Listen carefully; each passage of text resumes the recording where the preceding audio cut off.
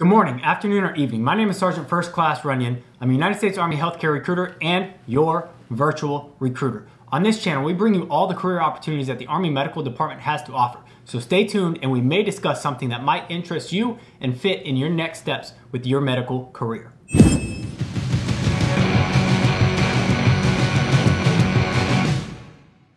Well, I'm excited at the opportunity to become your virtual Army recruiter. Again, my name is Sergeant First Class Runyan. I'm the station commander of the Columbus Medical Recruiting Station right here in the wonderful state of Georgia. However, regardless of where you're at in our country, feel free to reach out to me I'll assist you in your questions and then link you up with a local Army healthcare recruiter in your area to assist you in the application process. I am happy that you stumbled across today's video. If you have not yet clicked that subscribe button, go ahead and click it below and also ring that bell icon to receive email alerts when I upload some new content to stay up to date with the Army programs and incentives that the medical department has to offer each and every one of you that are out there in the medical field. Now, regardless of where you're at in your medical career, if you're still in your undergraduate or you've been practicing for years, don't let that hinder you from reaching out to an Army medical recruiter because there's a variety of different programs, positions available that we will have to fit your needs and what your career goals are. Now, this process is an extremely competitive process, so that is why it is important to reach out to an Army medical recruiter as soon as possible to figure out what it is that you need to be doing to ensure that you are a highly competitive applicant. On this channel, we will be assisting you in this process by going over the minimum requirements of what you will need to have in order to apply for positions in the Army, we will discuss what the application process looks like and then also timelines of what you could expect. We will discuss some things to think about of what you could be doing to ensure that your packet is as strong as possible when you're sending it up to the board for selection for either a direct accessions position, a student program such as our health profession scholarship program, or a variety of other types of programs or incentives we have to offer. We will be sharing some community events that we'll be doing with our local universities here in the area, as well as some virtual events that are hosted through Career Eco, Handshake, a variety of different virtual platforms because, you know, thanks to COVID, we're really having to adapt to this virtual platform. And those are some of the platforms that have assisted us with getting information out to you. However, I do believe that YouTube is the way of the future for Army recruiting and it brings information right to your phone, tablet, or PC on your time.